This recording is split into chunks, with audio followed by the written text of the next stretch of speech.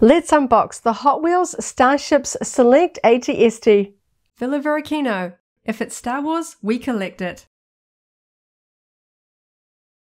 Hello there, thanks for visiting Villa Varykino. It was a really exciting toy hunt over the past weekend where we found the newest wave of Hot Wheels Starship Select Star Wars vehicles here in New Zealand. We picked up three from that new wave, the original trilogy AT-ST, the New Republic E-Wing Fighter and the prototype Imperial Shuttle. I've already opened up the New Republic E-Wing Fighter and next up I'm going to be opening up the original trilogy AT-ST. So of course this is isn't the first AT-ST in the line. There was one with Chewbacca released as a San Diego Comic-Con exclusive a little while ago. We are international fans. It is hard to get our hands on San Diego Comic-Con exclusives and I had a feeling that we would have just a standard classic version released in the main line and of course that time has come. We now have just a standard one. So I don't feel too bad about not having that Comic-Con exclusive. I'm really excited to get this one out and compare it alongside an iconic AT 80 as well. I think they're going to look really cool together.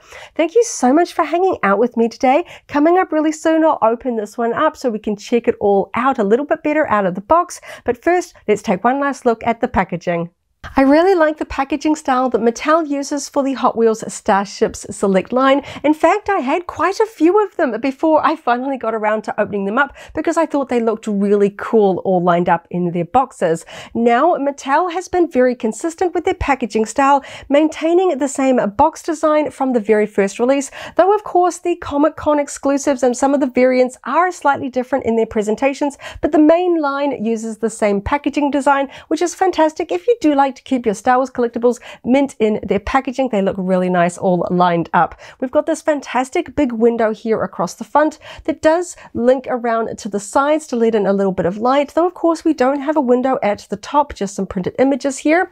We have the Star Wars logo at the upper left, that nice big window there with the AT-ST just facing forward, not angled, but it's pretty iconic from that front angle there. The Mattel logo, the Hot Wheels Starship Select logo, and underneath the window we have the ship name, AT-ST there. On the top, of course, we don't have a window, but we've got some really cool printed images here. We have a black and white blueprint style image here of the AT-ST, again, facing forward, and we have the faction logo in red, which of course is the Imperial cog symbol there. On the top cardboard hanger, we have the number for this particular vehicle, 29, and the title there, AT-ST. Really cool. And of course, moving on to the back, we have a nice clear image here of the AT-ST on its display stand. A little bit different. Usually on these ships, they are raised up so that they look like they're in flight. But of course, AT-ST is a ground-based vehicle. So we just have a flat one-piece base. It's kind of funny. We've got in the description here, it usually shows how the ships can rotate, but this is just a flat base. It's kind of funny to have a whole separate graphic for just the flat base when we can already see how the ship is going to sit on it there. And of course, we can see some of the other vehicles in this particular assortment. We have a couple of reissued ships ships in this one, Darth Vader's TIE Advanced and the A-Wing Fighter, which were released previously, which means that if you already have these ones, there are just three new ships in this particular wave, which is helpful. We are missing a couple, so it's definitely good to have a second chance of tracking those ones down. The New Republic E-Wing Fighter, and of course that fantastic prototype Imperial Shuttle with that unique white base there as well. Some fantastic ships in this assortment. The rest of the packaging is just the Mattel logo, copyright, barcode, all of that kind of stuff.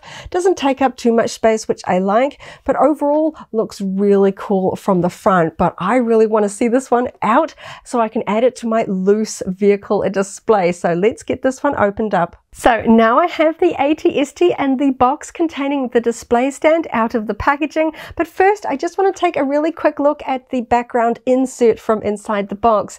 I always love this repeating blueprint style black and white artwork of the ships from this particular assortment. We can see the AT-ST, New Republic E-Wing, Darth Vader's TIE Advance, the Imperial Shuttle, the A-Wing. This is really fun. Fantastic to cut out and keep if you don't have the space or the inclination to keep the entire packaging. I just love seeing images of Star Wars ships like that. Just kind of fun to keep. But of course, the main hero of the hour is this fantastic ATST. It's kind of funny that it took so long to get this one in the main line. This is number 29 in the line, but it is fantastic. And like I always say, it's really fun to finally get them in your hand because these are die cast metal and they each have kind of differing weights. You kind of get a slight sense of it in the packaging, but of course all of that cardboard and protective packaging does add to the weight. And I have to say this is actually heavier than I was expecting because of course it has these thin legs. I thought perhaps the top head part here of the cockpit would be a little bit sort of more on the lighter side, but I have to say it's actually got a good weight to it, which is really fun and it feels really sturdy. I love the ATST as an iconic Star Wars vehicle, but generally speaking, a lot of other versions are made from plastic. And because plastic often has hinges as a component to it, I'm thinking like some of the Hasbro ones, they can tend to fall over or just become a little bit more squashed and saggy over time. This is fully sculpted metal with no moving parts here in the legs. So as you can see, it stands up fantastically on its own. It's not sort of going to tip over, it's rock steady, and you know because this is metal, it's not going to sag over time. Look at that lovely level sort of uh, position there with that cockpit. Just fantastic really cool and I can't wait to go over all of the details. So of course it is primarily metal, but anything that moves or has sort of a pointed end to it is generally done in plastic for either construction or safety reasons. And as I suspected, I can see just a few plastic components here, namely the weaponry, because they generally have some pointed ends here. And so, so let's test it out. Okay, so this part here, the weaponry on this side can move. It's kind of tight. It doesn't really want to rotate all the way around. I can kind of position it up and down. It's got sort of like a light grey plastic and we've got a little bit of weathering there. Of course, we have the weaponry here on the front, which is painted with this really dark metallic silver, which is really nice.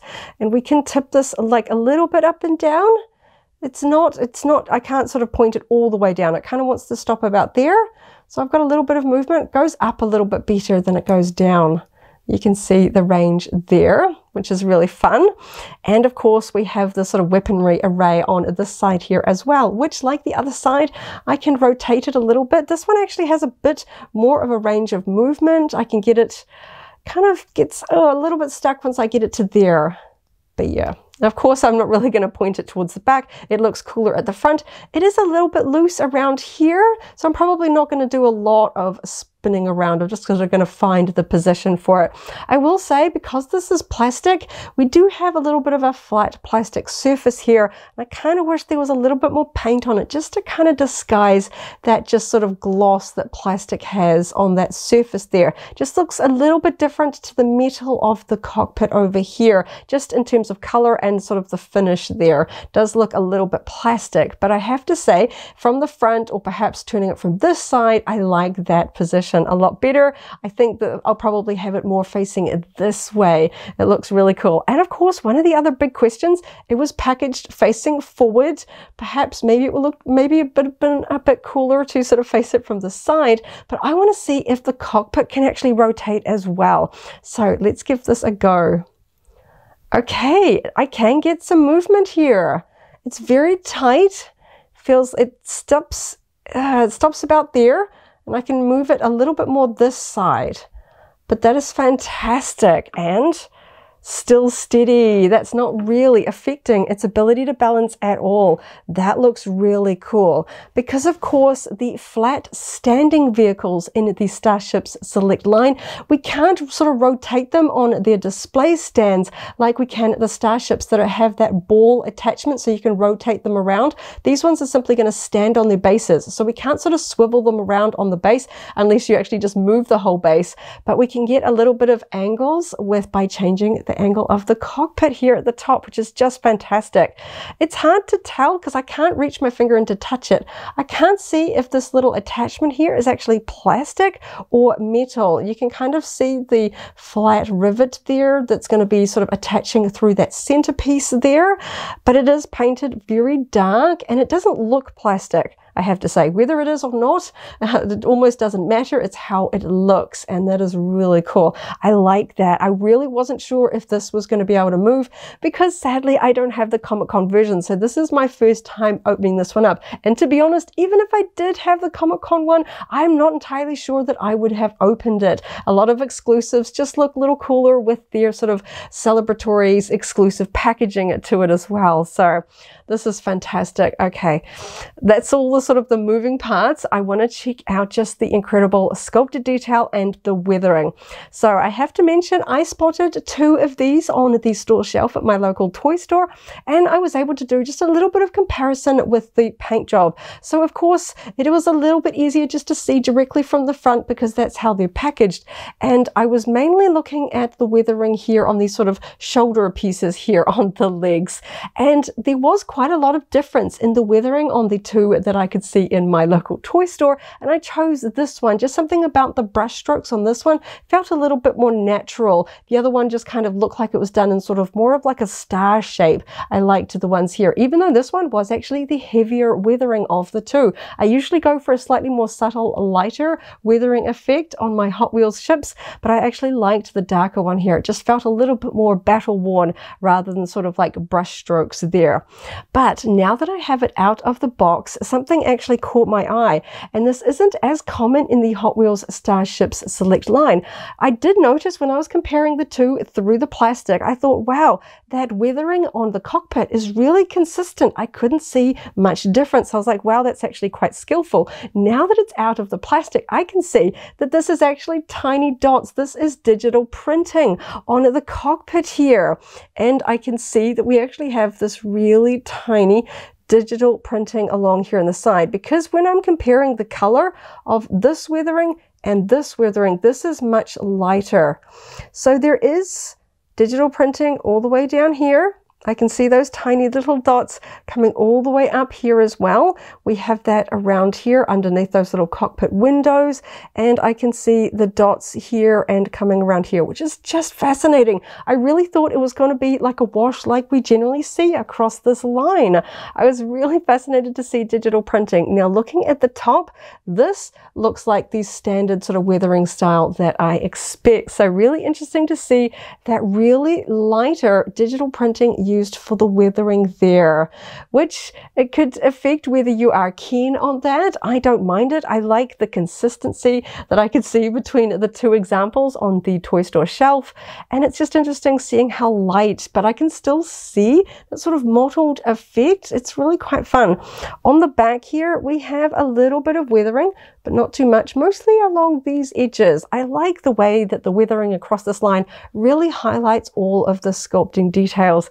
There's something fun about the sort of the lines and textures of Star Wars starships that looks so cool in die-cast metal and it just kind of really highlights it when we have all of this weathering. Of course, a lot of the ships in Star Wars are battle worn. They've got sort of carbon scoring and weathering on them and I really like the way that they sort of highlight the details with the weathering on this one here. It's just ah oh, just fantastic you can see all of that tiny detail on the legs here we've even got cutouts here on the legs and I just, I love the fact that these don't move, I gotta say. I know for some people they want to sort of be able to pose them and things like that, but I like just sort of the static display nature of the Hot Wheels Starship Select line. I want them to sit on their display stands and look fantastic, and the metal is just perfect for that. Of course, I don't need to worry about any of these joints kind of softening or going a bit rubbery over time. It's metal, it's always going to look amazing. And we can see it's not even hollow on the underside of the feet. We've got that sculpted and painted detail. There's weathering on the underside, absolutely no surface. None of the surfaces are sort of amiss with, you know, a lack of weathering or sculpting detail there. Just fantastic. And we can see here along the tops of the legs here, all of that fantastic weathering. Just so cool. It's a shame it took so long to see this one in the main line, but I understand they probably did that to kind of let the San Diego Comic Con sort of retain its exclusivity, you know, uh, to make sort of fans that were able to get their hands on that one sort of appreciate that they were the only ones that had the ATST. So I understand why it took a while to get the standard one. So of course the uh, exclusive one has the cockpit open because there is a Chewbacca figure in the top. This one, it doesn't open. This is just a sculpted cockpit. It's not like they've sort of just, you know, taken a figure out or anything like that. But I like this just looks really nice. I like the weathering there as well. We can sort of see the little round cockpit there fantastic details. And of course, we've got those tiny little sort of eyes, the cockpit windows here at the front. Now, the Hot Wheels Starship Select line generally doesn't have sort of cockpit windows that you can look through. They are painted with an opaque black gloss paint, which gives the illusion of windows, but they don't need to sculpt the interior. And I quite like that. So we can just see that gloss paint there. It gives it a sort of a sinister, squinty eyes there on the vehicle. Just fantastic. Really cool. I just kind of wish there was just a little bit of paint here, but to be honest, I'm almost never able to find a flaw or something I don't like in the withering and paint job across this line. So it's kind of, uh, you know, a little unusual that I'm like, I just wish there was a little bit more paint there. But to be honest, it's not it's not a deal breaker. I think this is fantastic. And I just love the fact that it can stand up so well on its own, even with those skinny little legs. Just fantastic. You know, sometimes you get toys, especially with these sort of two feet where one is like a little bit higher than the other, or they're not quite steady, so it always looks a little bit askew. Just dead straight. Fantastic. Not a wobble really nice and sturdy. Okay, so let's get it on its display stand. It's not going to look that much different, but I still think it'll be cool. So you can see, instead of having the two pieces to raise up ships into a flight position, this is a ground-based vehicle. So we just have one sort of display base here. So let's open up the box and it's wrapped up in tissue paper to protect that printing. Okay, so let's open this one up here. And we can see that we have a little faction symbol here in between the feet, just a little bit dusty there. We have the metallic silver foil there for the Imperial cog symbol for the faction. And this one is simply labeled as ATST there. And we see that we've got the sort of the impressions there of the feet. So that's going to sit nicely there. So it's not going to sort of slide off there. And across on that front edge, we have the Star Wars logo recessed there and the Hot Wheels flame logo here on the other side. Just hollow on the underside with copyright information there. So let's get this one into position on its display stand. And, oh, okay. This one is a little bit misaligned. That is interesting. Okay, I'll show you what's going on here. So this, we've got these little cutouts for the feet and it's going to be a little bit hard for the camera to focus on because it's black and shiny. So the, these positions are spaced apart and as I line them up, they don't quite align. It's kind of clicking. The, the uh, spaces for the feet are wider than the feet on my particular example. Ah, this is the first time I've ever had an issue with a base, to be honest. And it's not like I can change the distance of these legs to sort of widen them or adjust the position to fit that because they're locked in place. But I don't really know if I want to leave this on the base. You can hear it clicking because I'm trying to sort of get it seated in, but the feet positions are just narrower than the spaces on the base. That is a shame. I'm probably, I don't know, probably going to have to, it's, it's not, I feel like that's unsteady. Wow. Is this just an issue with my specific vehicle or is this going to be an issue across the line if the sculpting on the base doesn't match up to the actual finished constructed toy in terms of the spacing? I can't get that. It's just not going to happen. Solid object meets solid object and neither of them are fitting each other. Wow, am I just going to have to put this one on the side like that? That is a real shame. I really love the bases of this line. It is such a winning factor because I love seeing all of the display bases all lined up. Am I going to have to buy a second one and test uh, that out and see if that is an issue with my one or that's going to be something that went wrong in the production, that this is not quite spaced right? Wow. That's a real shame. I was really excited to get this one on its display base because of course I also have the large and impressive AT-AT and I was really keen to see these two together. So of course, if I take this one off, you can see that the AT-AT has the same sort of recesses there for the shape of the feet. And this one matches in really nice. So it's really sturdy, locks in there, so it's not going to slide around. And we can still see that faction logo and the title there. I was really looking forward to having this one alongside on its base as well. And it's just, oh dear. That's, that's very unfortunate.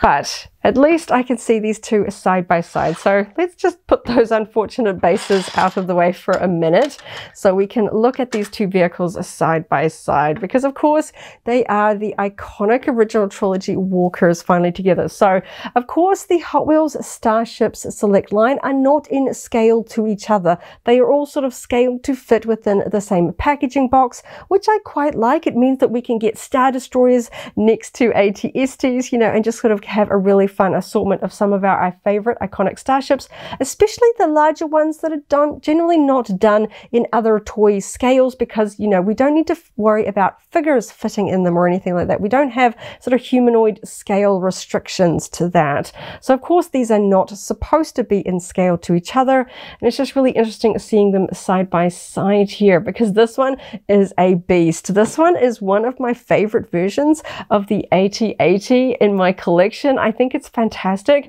It's the kind of thing that I would just buy multiples of it and just have it just in bookshelves and all sorts of display spaces around my home because of course we've only got plastic here. The rest of it's fully metal. We can adjust the cockpit again like the ATST as well. So of course with metal you don't need to be as worried about that sort of yellowing of plastic. You know you can put these things in the sun. Of course this one does have plastic here but I love it and of course we can see those sturdy feet. Again, no articulation in the legs. They are sculpted. You can even see these two toes are actually touching, which does give it a little bit of extra stability nice and flat there on the desk and they look great together. Just a little bit of subtle difference in terms of the weathering style, but of course they were released quite some time apart and I wouldn't expect them to be weathered in the same way, especially on the legs.